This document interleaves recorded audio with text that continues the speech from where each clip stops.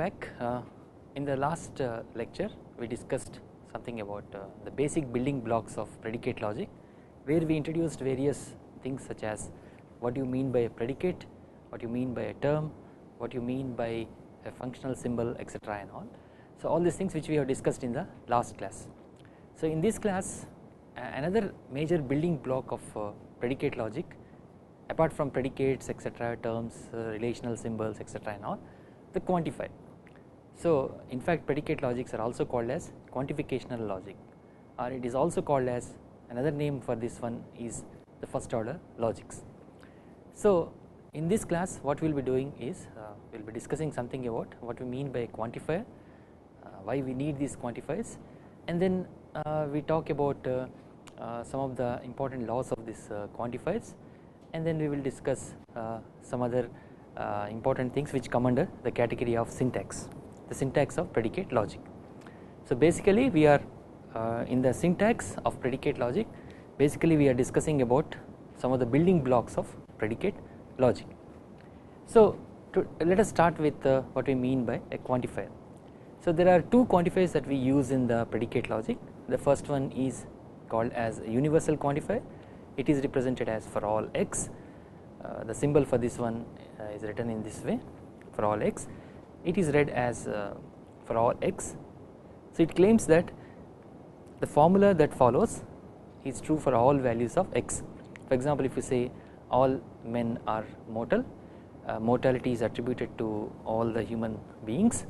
So that mortality is attributed to all the human beings. So whatever follows after the quantifier uh, uh, is uh, that formula is going to claim that we are going to claim in that formula that that follows uh, what follows after the quantifier is true for all values of x. For example if you say all human beings are happy uh, this is simply represented as uh, this thing for all x. H stands for the human being and x stands for uh, any individual human being. And then we have some kind of uh, uh, domain. So that is universe of discourse we usually call it as UD means university of discourse which usually consists of human beings or people. And then this stands for a quantifier and this stands for usually predicate. So being mortal uh, uh, being happy is considered to be the predicate and that is attributed to a one single uh, variable x. And if that happens for all the Uh, human beings then uh, we represent it in this way for all x uh, hx. So another quantifier that we will be uh, using every very often frequently is the existential quantifier. So it is represented as there exists an x it claims that the formula that follows after this quantifier uh, is true for at least one value of x. So that means suppose if you say that uh, at least one swan is considered to be uh, usually swans are white in uh, color suppose if you find if you figure out uh, figure it out in such a way that you figure it out in a way that the swan that you looked at is considered to be black. So you want to say represent that particular kind of thing you usually represent it in terms of there exists some x such that that particular x is considered to be a swan which is considered to be black. So now assuming that the universe consists of uh, real numbers so depending upon what you take into consideration um, uh, the formulas uh, represented by quantifier uh, changes and all the formula is going to be true sometimes the same formula is going to be false some other occasion.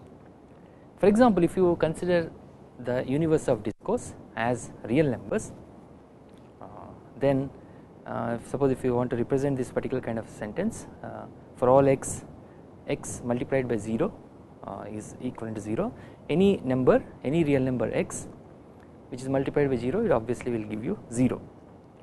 So x into 0 is equivalent to 0 it happens for all x whatever x that you are going to take into consideration which falls within the domain of real numbers the property that uh, x into 0 is equal to 0 holds for all x and all. So that is the reason why we wrote it in this way for all x x multiplied by 0 is equivalent to 0. So this is one way of representing this particular kind of thing. Again uh, if you consider the same universe of discourse as uh, real numbers then the other uh, other thing which you can represent it in this one is for for all x there exists some y that means at least one y such that x multiplied by y is equivalent to 1. So here we have used uh, two quantifiers the first one is considered to be the universal quantifier the second one is the existential quantifier. I am just stating that you know uh, these are the some of the things which you commonly come across uh, I mean uh, later we will be talking about the translation part where we will be talking about how to translate the sentences appropriately into the language of predicate logic little bit later. So right now uh, there are uh, two quantifiers that we need to study uh, in detail because predicate logics are called as quantificational logics. So, so usually we represent it in this uh, particular kind of thing. Uh, suppose if you want to represent universal quantifier it is considered to be like this. For example if we have this particular kind of thing ax uh, implies bx let us say all human beings are mortal where a is represented as human beings and b is represented as mortal so now let us consider that there are only two individual human beings it makes sense to talk about uh, uh, simple formulas in this way for example this can be written as uh, AA implies uh, BA where x is x is replaced by A and A B implies B B. So if there are only two uh, this is universe of discourse is considered to be people. All people are human beings. In that we have taken into consideration only two human beings A and B. Let us say Aristotle and Socrates. So if you want to represent this particular kind of thing because there are only two people in this universe I mean uh, the domain so we can represent this uh, this formula simply as this one. But when the number increases in all C, D, E, F etc and all there is no way in which you can uh, represent it in, in this particular kind of form because this uh, string will uh, uh string will go on and on and on. So in order to represent this particular kind of thing if this property is going to be true for all x then we require this particular kind of universal quantifier. So that means here another thing which you need to note is, is that if any one of these thing is false then the whole uh, this particular kind of formula is going to be automatically false. That is uh, as good as saying this particular kind of thing. Suppose if you want to say that all crows are black that means you represented it like this. You found a, a crow white uh, black crow A. If that is a crow A is a crow then A has to be black. In the same way you found another crow you are naming it as B. B is considered to be uh, a crow and B has to be black. Like that it goes on and on and on Suppose if you find an instance where for example A uh, is false and all. So in the third instance you found a white crow. Then you cannot say that for all x if x is A then x has to be black because that particular kind of thing is false. Even if one instance is false you cannot represent it in this particular kind of way. Usually uh, mainly law statements in science are usually represented as universal generalizations. But you need to note that all universal generalizations have its own has its own exceptions. So uh, so this is the way in which you represented universal quantifiers whereas existential quantifiers uh, same thing ax and bx so this is for example if you have again uh, two we are taking into consideration two people from this universe of uh, discourse that is n number of people are there. Out of that we have selected only two. Let us assume that there are only two human beings existing in this uh, world uh, for example. Then you represent this formula as represent this formula in this way. A a and b a a a a b and b b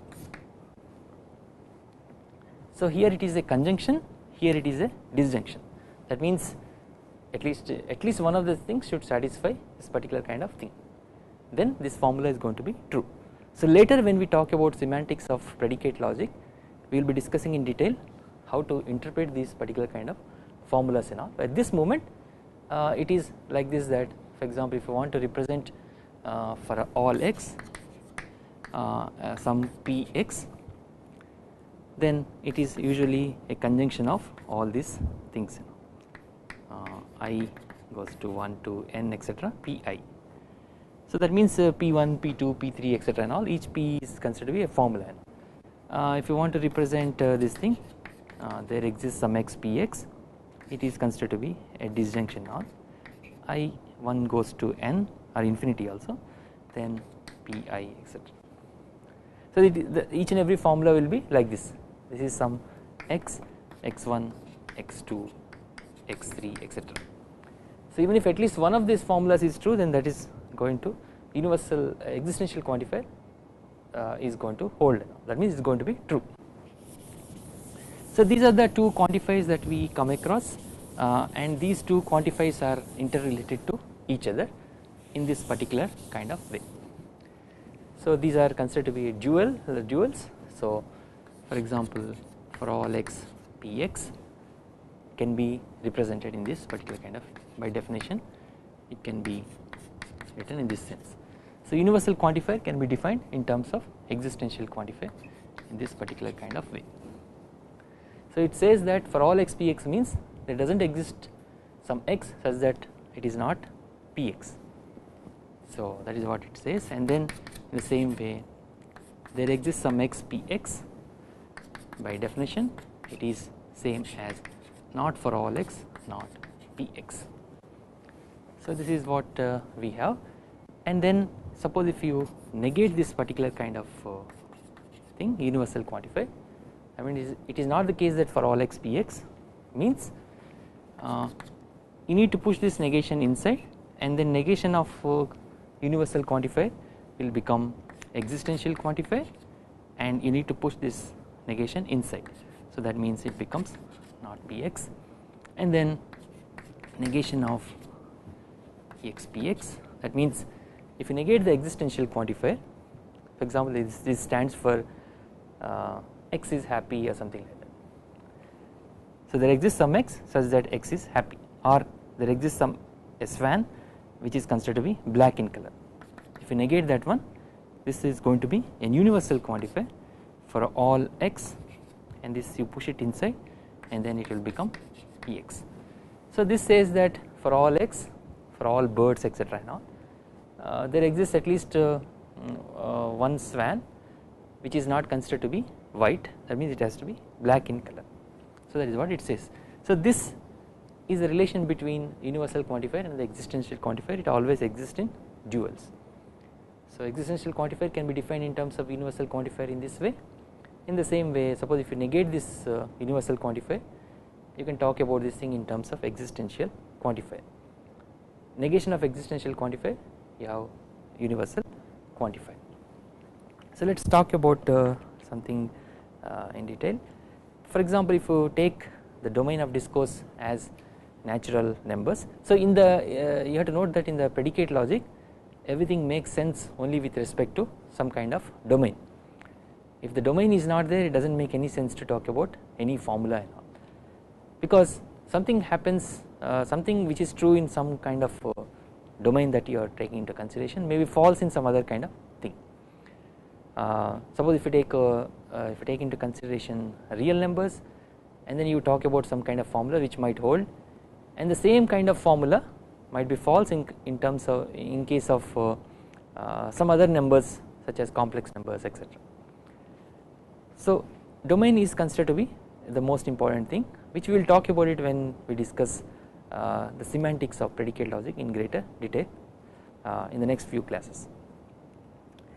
So now uh, if we consider domain of discourse is considered to be natural numbers like uh, 1, 2, 3, 4 etc and all and 0 is not there if you add 0 to it it will become whole numbers. So another we have a predicate phi uh, which relates x and y uh, there is some kind of relationship between x and y. And that relation is defined as uh, defined in this way. X is less than y. So then we are taking into consideration natural numbers. And then we have a function fxy which is considered to be a binary function uh, which is defined in this way x plus y. Plus is considered to be a binary function because it connects x and y. Multiplication plus uh, divided by etc are all binary functions in arithmetic and ABCs are considered to be the constants uh, which stands for some kind of numbers 0 1 2 etc so now uh, we can talk about uh, one particular kind of formula. There exists some x phi x y in the context of natural numbers. So this is considered to be an unary predicate uh, which which essentially says that there exists some kind of uh, actually this should be there exists some y phi x y which says that which says of y that there is a natural number less than uh, that particular kind of thing x where usually we consider it as since you are considering natural numbers definitely y is not equivalent to 0 so it might uh, it might hold uh, as long as you do not take into consideration y is equal to 0. So there is always uh, a number which is less than suppose if you take uh, x as 1 and y as 2 and you have a, you have a situation where it satisfies this particular kind of formula.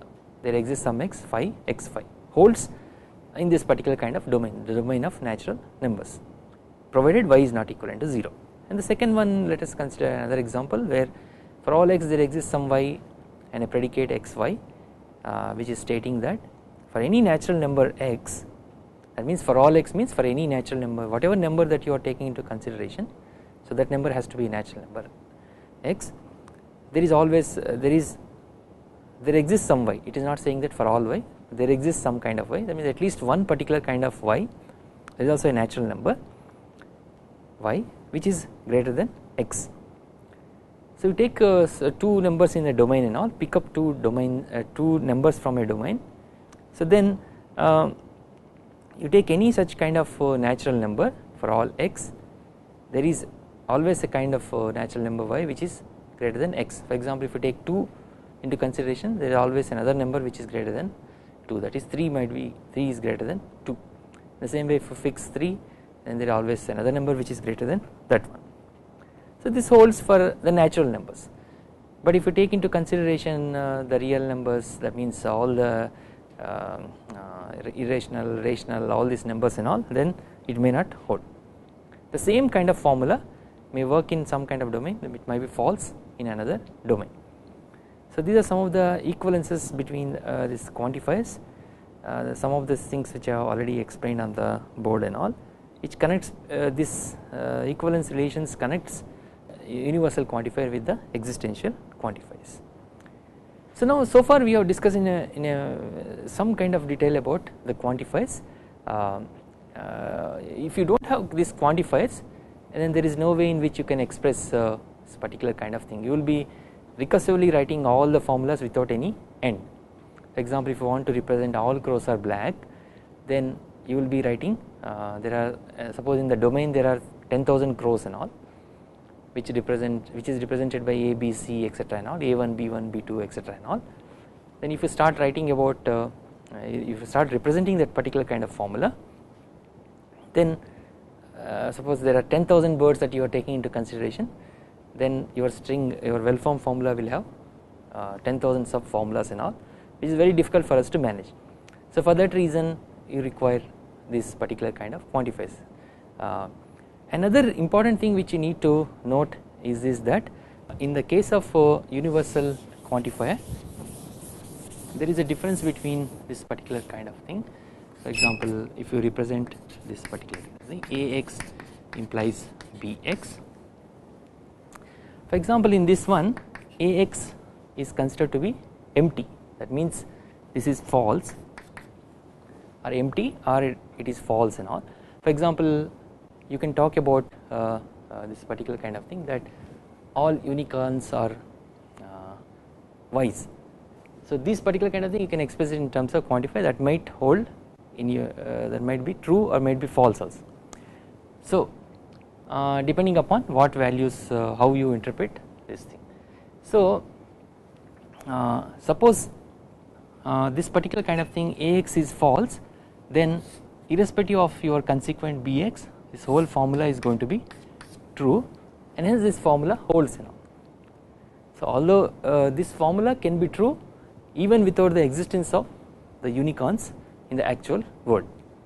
So you can still talk about uh, a universal quantificational formula uh, uh, without uh, talking about whether or not they exist in the world Ax can be false Ax if Ax can is false then this whole formula is automatically going to be true and all but in the case of uh, existential quantifier suppose if you say that unicorns are uh, uh, no, for example if you say that all unicorns are are wise because unicorns are doesn't exist in all. So from this suppose if you infer that uh, some unicorns are are intelligent wise so now this has no problem in all as such because this uh, this statement can still be true provided bx uh, ax is false if antecedent is false uh, the conditional is going to be automatically true. Even if uh, it does not exist also it does not make big difference in all. But once you say that some unicorns are wise and all this presupposes the existence of unicorns unicorns existence of unicorns in the actual world. So this does not require uh, we do not have any commitment that you know unicorns actually exist in the world you know but yet you can talk about this particular kind of formulas. But once you talk about this particular kind of formula this presupposes some kind of existence. So that means unicorns have to actually exist in the world you know. So so this is uh, another interesting issue which is uh, which we uh, which we talk about it uh, in the next few classes. This this again is a, a, problem which is raised by Aristotle.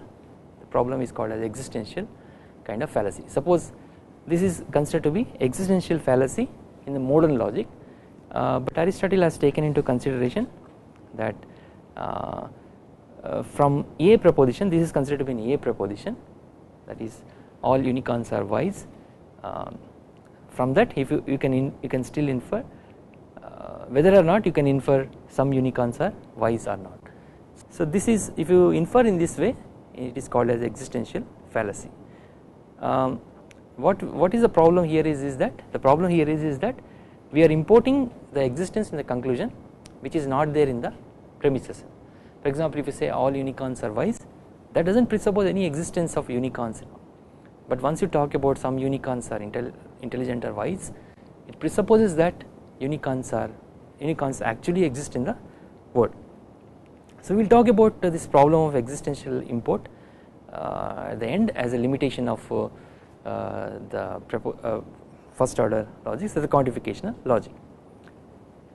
So now let us talk about what we mean by the scope of the quantifier. So you are just trying to talk about the basics of predicate logic still we are in the uh, in the part of syntax itself. So so what do you mean by scope of a quantifier? Suppose if you say for all x phi uh, is considered to be a sub formula of uh, phi that means uh, that psi consists of some kind of sub formula uh, phi then psi is called the scope of a particular occurrence of a quantifier that is for all x in a particular kind of sub formula phi. The same applies to the occurrences of uh, uh, the quantifier there exists some x in. So whatever is within the scope of this quantifier is usually considered as the scope of the quantifier whatever falls outside the scope uh, is not considered to be bound. So now we can talk about depending upon the scope of the quantifier to, to what extent this quantifier operates in a given formula we can talk about whether a given uh, variable is free or a given variable is considered to be bound. So uh, there are only two things which exist here. So an occurrence of an individual variable um, is considered to be bound if and only if it is within the scope of the quantification expression that contains the individual occurrences of the individual variables. So whereas an occurrence of a variable is considered to be free if and only if it is not considered to be bound which is not in the scope of the quantifier is considered to be not bound that means it is a free variable.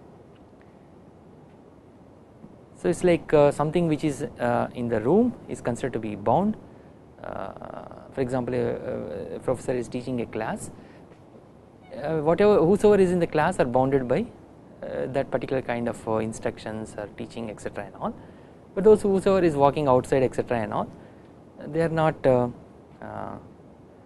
they do not have to be they do not have to follow the instruction of a teacher so they are not bound by the particular kind of instructor who is teaching in that particular kind of classroom.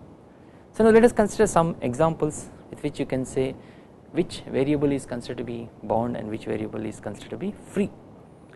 Suppose in the formula that, that is shown in this slide for all x uh, fx and cy implies there exists some y zy and hx or mz.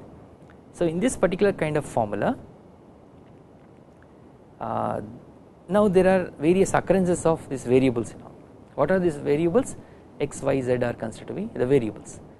That means if you can replace with any constants etc and all it will uh, you can replace these variables with some kind of constants. These constants are considered to be some of the things which uh, which are uh, some kind of objects in the domain. It can be people, it can be anyone, uh, it can be crows or it can be anything.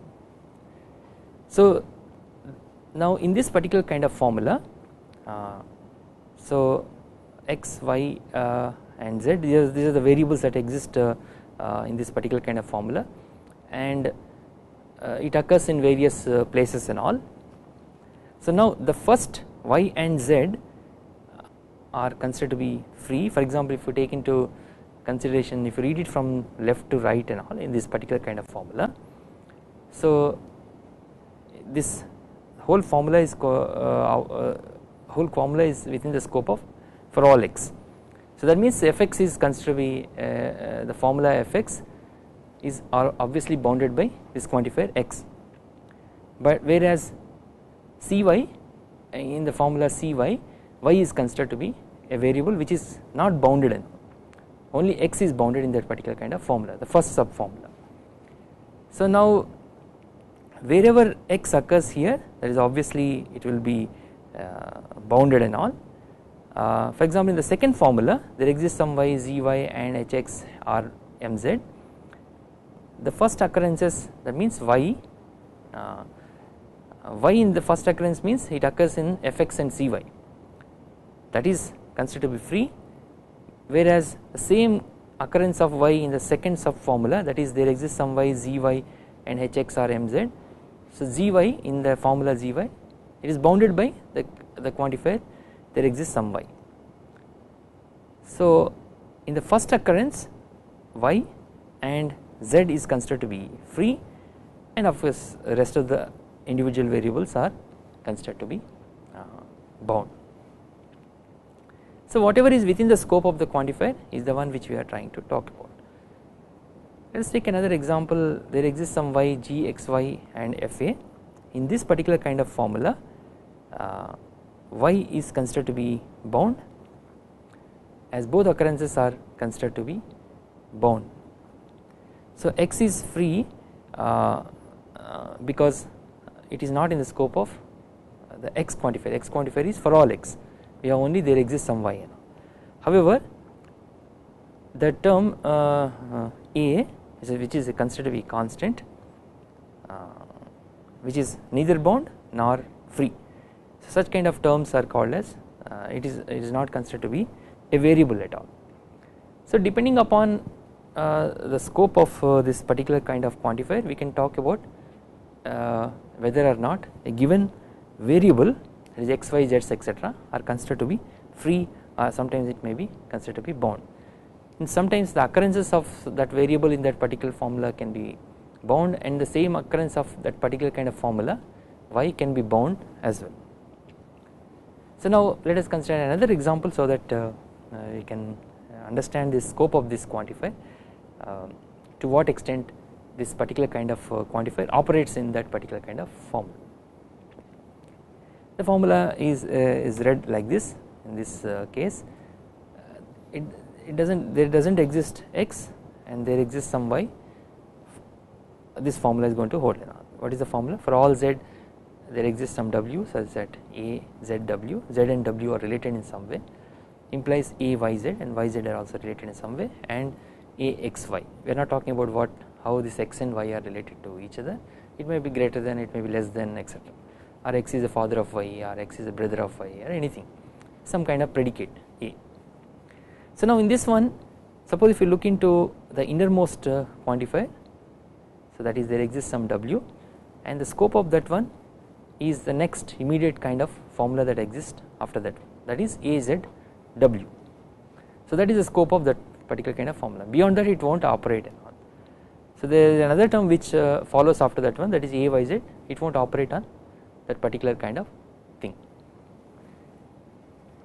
Now if you consider the innermost uh, quantifier for all z and that is going to operate on uh, the scope of that one is whatever is there in the brackets that is there exists some w a z w implies a y z.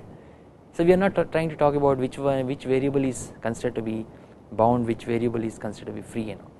So we want to talk about that particular kind of thing with respect to this uh, universal quantifier for all z no no uh, for all z there exists some w a z w implies a y z in that uh, w is uh, uh, no uh, z is considered to be no, no everything is considered to be bounded and all because there is no term which is considered to be free. So now with respect to the next quantifier that, that is there exists some y the entire thing is considered to be within the scope of that particular kind of formula whatever follows after that particular kind of thing is within the scope of that quantifier and then with respect to there exists some x the entire formula is going to be within the scope of that particular kind of formula.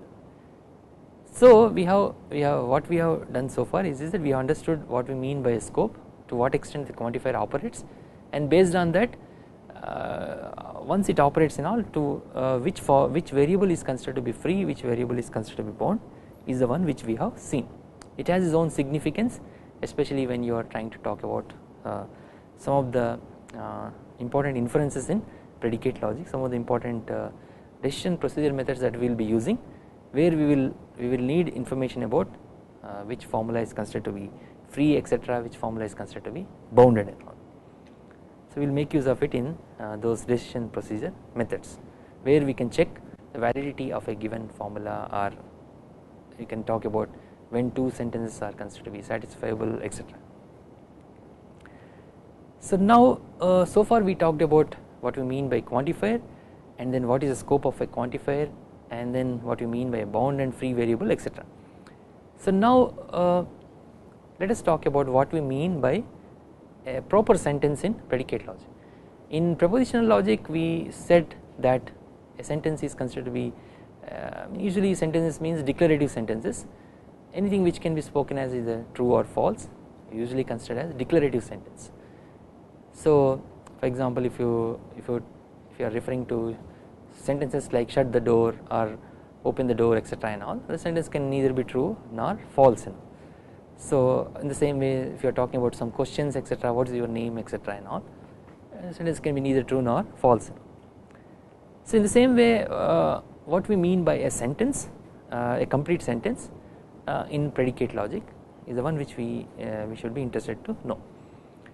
A sentence is a formula in uh, your language the language of predicate logic which lacks free variables so your formula is so constituted in such a way that there is no free variable and that particular kind of uh, formula is considered to be a proper sentence in predicate logic. For example if you take into consideration for all x uh, a y this is not considered to be a sentence because you have a free variable y. Suppose if you had said that for all x a x then it is considered to be would have been considered as a sentence but here the, uh, the existence of free variable will make it is not a proper sentence in uh, your predicate logic. So why we are talking about whether or not is a particular sentence etc and all uh, just like in the case of propositional logic only sentences can be a statement can be true or false and all you can talk about truth or falsities false of a particular kind of sentence. Uh, in the same way for example if you take into consideration for all x ax and there exists some x bx is considered to be a sentence because there is no free variable that exists in this one because uh, Ax is bounded by this quantifier for all x and uh, Bx is already bounded by this uh, existential quantifier there exists some x and the entire thing is bounded uh, which is within the scope of the universal quantifier. So there is no free variable which exists in this second formula so that is why it is also called as a sentence. So let us consider the third one Ax and there exists some x Bx. Bx is bounded by this particular kind of uh, existential quantifier there exists some x. So x is not free the occurrence of x in that particular kind of formula is not free is x is bound in that particular kind of occurrence and x occurs x also occurs in the first uh, term that is ax. So in that occurrence of x in that occurrence ax x is considered to be free. So whenever you have a free variable that is not considered to be a sentence as the occurrence of that particular kind of formula is considered to be free. In the same way for all x for all y a y y where y is considered to be free so it is not considered to be a proper sentence and of course bx uh, is anyway in that particular kind of formula bx is obviously considered to be free I mean the variable x in the second term is considered to be free. So now what we mean by complete and incomplete sentences in the predicate logic and what it signifies in particular just like in the case of propositional logic only statements can be uh, only declarative sentences are the ones which we are going to take into consideration all the other sentences uh, which where you cannot draw a clear line uh, between like let us say mortal and non-mortal etc and all we do not take those sentences into consideration. So it sets some kind of limitations which we talk about it at the end of this course. So now what we mean by complete and incomplete sentences in predicate logic? The expressions that is the formulas which are represented in terms of formulas are said to be complete if they contain no free variables. That means everything is bounded by uh, within the scope of the quantifiers and there the variables that exist within the scope of the quantifier are also considered to be bounded. And you do not find any free variables then that particular kind of sentence is considered to be a complete sentence. And they are incomplete if they do not contain if they do contain some kind of free variables in all. So we have seen some examples uh, earlier. Uh, so now one of the important consequences of this particular kind of division that complete sentence and incomplete sentence is, is that complete sentences are considered to be fully meaningful. That means they can we can talk about whether or not they are tautologies and they therefore have some kind of truth value that is true or false. Incomplete fragments by contrast are not meaningful. You can only talk about satisfaction. Under some interpretations that formula is going to be true and some interpretation is going to be false. And uh, they therefore are incapable of having truth value. You cannot clearly say that it is a tautology or you cannot say that it is a contradiction it is just like some kind of contingent kind of statement. It can be true it may be false. So this is one of the important uh, significance of uh, demarcating between complete and incomplete sentences in predicate logic. A formula which consists of uh, no free variable is considered to be a complete sentence in the sense of predicate logic.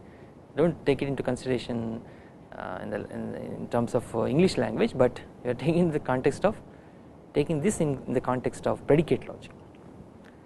So that means uh, here uh, the important message is, is that uh, the formulas uh, in, in any formula that you are going to take into consideration that constitutes a complete sentence provided if it has no variables. If it has variables free variables then it is not considered to be a, a complete sentence. It is usually called as incomplete sentence.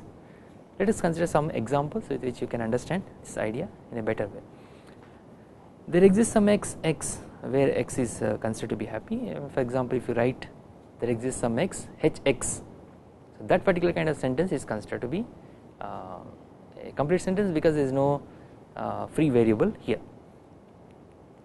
In the same way there exists some x such that that uh, x is happy and x is bold. So that is what is uh, both x the occurrence of x in this particular kind of formula is bounded. So there are no free variables. So that is the reason why it is called as a complete sentence. In the same way the third sentence for all y there exists some x e x y e is considered to be some kind of predicate.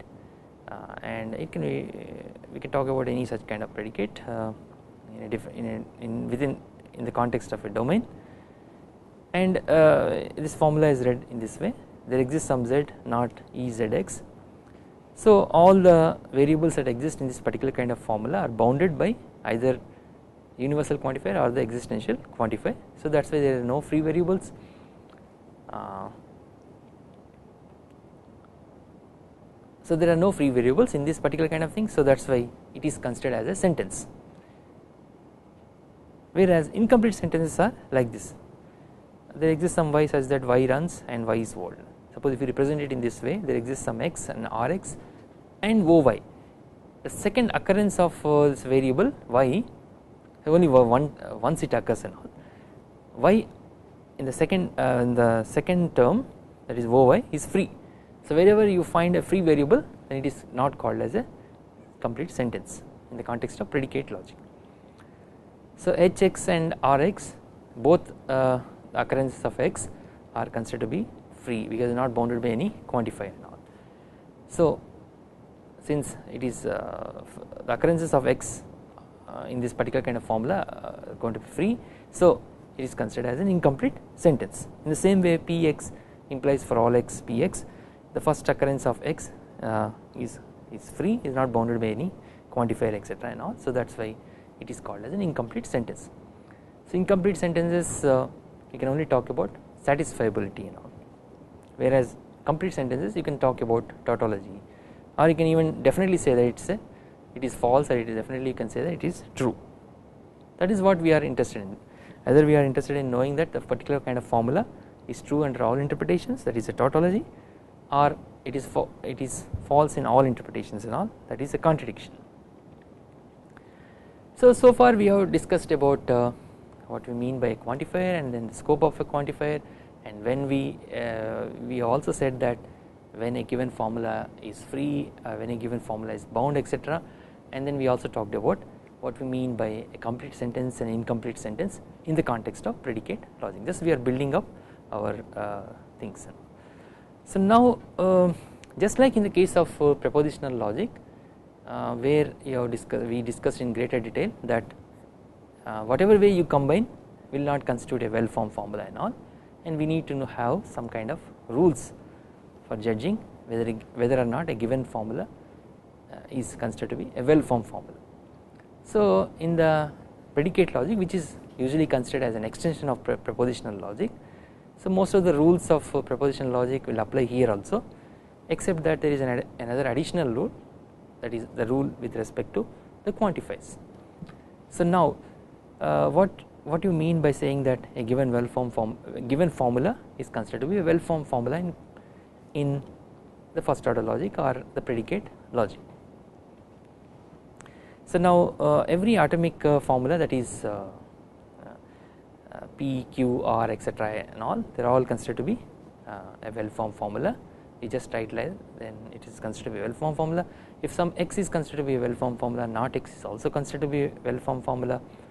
And if circle is considered to be binary operator the binary operators are uh, there are 4 in number like uh, or and implies and if and only if.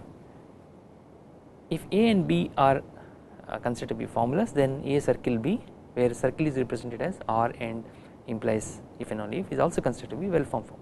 It, is, it does not tell us much uh, except that is this is going to be useful uh, when you are feeding some kind of information in the machine in particular. The machine uh, should know how uh, which one is called as a syntactically correct kind of formula which one is syntactically incorrect formula.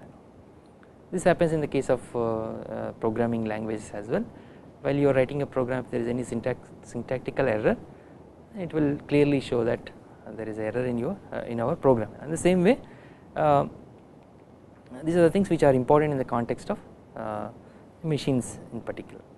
So uh, the fourth rule is, is that fourth rule is the one uh, only thing which is new here in the case of predicate logic. If a is considered to be a, a formula then x is a variable uh, in that particular kind of formula a that means ax etc then for all x ax is also considered to be a well formed formula. In the same way there exists some x ax is also considered to be a well formed formula. Whereas Ax there exists some x is not considered to be a well formula. This, this just tells us how these formulas how various strings are combined and forms some kind of well formed formula nothing does not tell, tell us anything extra so now anything uh, the fifth rule is uh, like uh, formality and all so that it says that all formulas generated by the finite number of applications of the above rules is automatically it will be treated as a kind of well formed formula. This is talking about all the formulas that uh, you have to judiciously use the above formulas and all. It does not talk about anything new. For example, if we say just px and all, it, let us say it represented by some predicate x, uh, let us say human uh, Socrates is mortal for example, p is considered to be a predicate that is mortality is attributed to some kind of x that is x is considered to be some kind of Socrates or Plato etc. So that is considered to be a well formed formula there exists some x q x c etc they are all considered to be well formed formulas. So just like in the case of uh, uh, propositional logic suppose if uh, the parenthesis is not given then uh, we need to follow our own uh, conventions. Uh, so there is an order of precedence which is used widely in most of the textbooks. So the order of precedence is slightly different in case of predicate logic when compared to the propositional logic. So the first preference is usually given to the universal quantifiers so we have to put brackets uh, whenever you come across these particular kinds of uh, symbols. For all y there exists some y bind most tightly. And then followed by that rest of the things are same as the case of uh, logic negation and or implies and double implies. For example if you take into consideration this particular kind of example for all x px implies there exists some y there exists some z q y z and there doesn't exist some x or x. So there are no brackets nothing is given here. So now in that context the first preference in this one you have to look for the universal quantifier. So the universal quantifier occurs in the first uh, uh, string first formula sub formula that is for all x px that is why we had put brackets there. So now that is taken care of. Now we need to come to uh, existential quantifier. That is the one which is needs to be preferred. So now whatever follows after there exists some y you have to put bracket. So that is what is happened here in the second stage.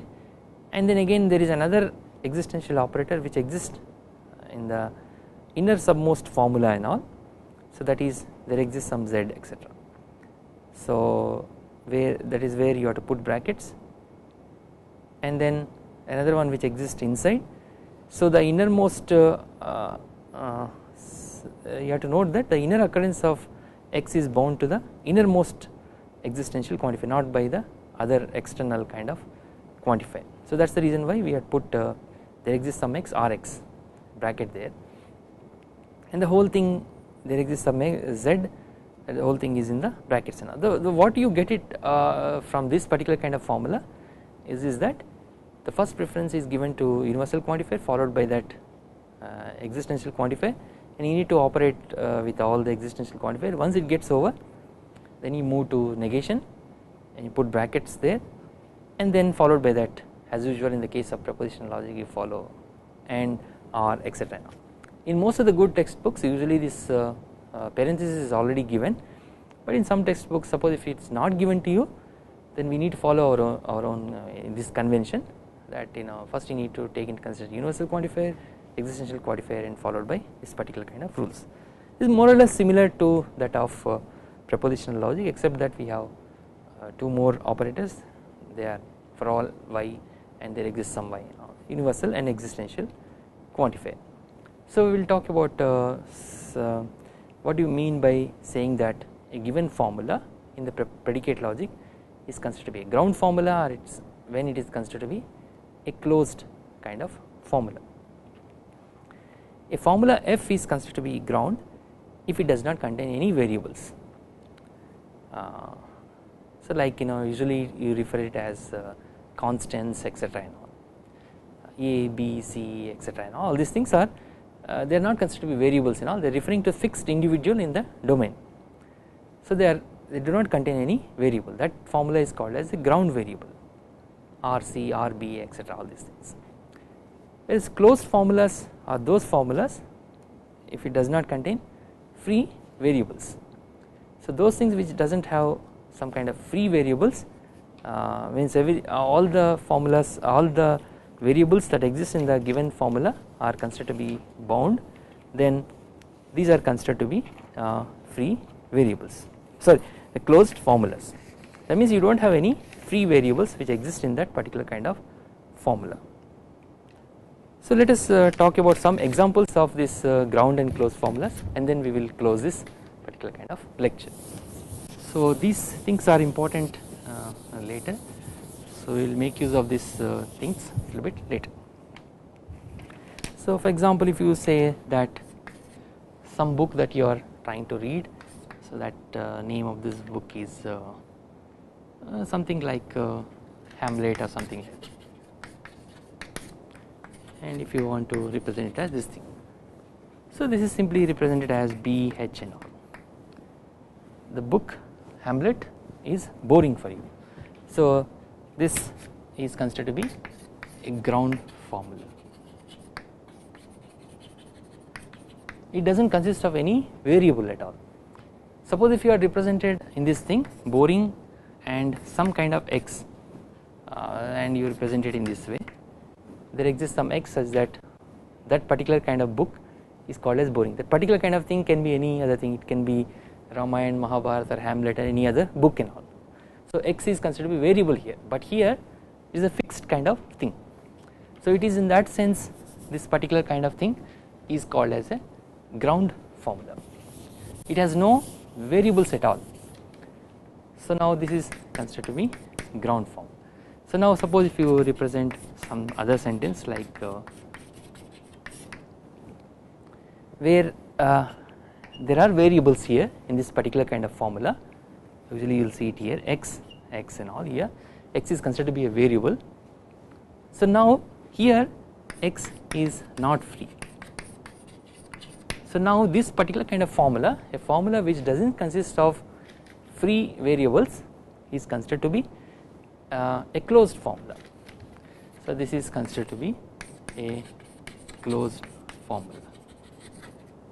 Uh, there are some other kind of formulas which are considered to be neither closed nor ground kind of formulas. So for example if you say this particular kind of thing R x b y x. So b is a predicate and then this y x x are variables and then r is uh, some kind of uh, x is having some kind of property r. So now in this one uh, there are two occurrences of x here and here. So this is bounded by this particular kind of uh, quantifier x for all x. So that is why x is not free here. But what about y here y is considered to be free so it is in that sense whenever you have uh, some kind of uh, free variables which exist in a given formula so this is not considered to be a closed formula closed formula it is not the case that it is a closed formula. So now uh, is it is it considered as a ground formula that means a ground formula is a one which does not consist of any variables but you have variables here x, y etc and. So in that sense it is not even called as a ground formula also. So now usually what we would be interested in is this particular kind of formulas and all. So mostly these formulas can be uh, you can discuss about it as, as a, uh, tautologies etc and all you can uh, talk about whether or not these formulas are true or false. So in the next class what we will be doing uh, is we will be discussing about uh, some of the substitution instances of it and then we will also talk about uh, so every formula will come up with some kind of uh, some kind of uh, diagram tree diagram a unique kind of tree diagram uh, with which you can read the particular formula all. So what we have discussed in this class is simply is that we discussed about what we mean by a quantifier and then we introduced two quantifiers for all x there exists some x uh, if you do not have this particular kind of quantifiers things will be very difficult because you will be keep on writing it uh, uh, recursively n number of times and all without even coming to know what it, it says. So we need this universal quantifiers and existential quantifiers uh, and then we discussed about uh, uh, the relationship between universal and existential quantifier and then we discussed about uh, Uh, when if a given formula is uh, uh, is within the scope of the quantifier and based on that we can judge whether a given formula is given variable in that formula is free or bound etc and then based on whether or not you have free variables and variables etc and all then we discussed about what we mean by grounded and closed formulas and all. Then we said that closed formulas are of some kind of interest to us because we can uh, discuss many interesting things about uh, interesting things about uh, satisfiability, tautology, validity etc with respect to the closed formulas. So in the next class we will continue with the syntax only. So we will finish with the syntax and then we will move on to semantics and then we discuss about some of the important decision procedure methods which exist in the predicate logic. They are first we start with the semantic tableaux method that is the one which we have discussed in the, uh, the case of propositional logic. And then we move on to one of the important proof procedure method that is the natural deduction method. And then as usual in the case of proposition logic we use resolution refutation method. So we will be talking about the same thing uh, a little bit in the next few classes.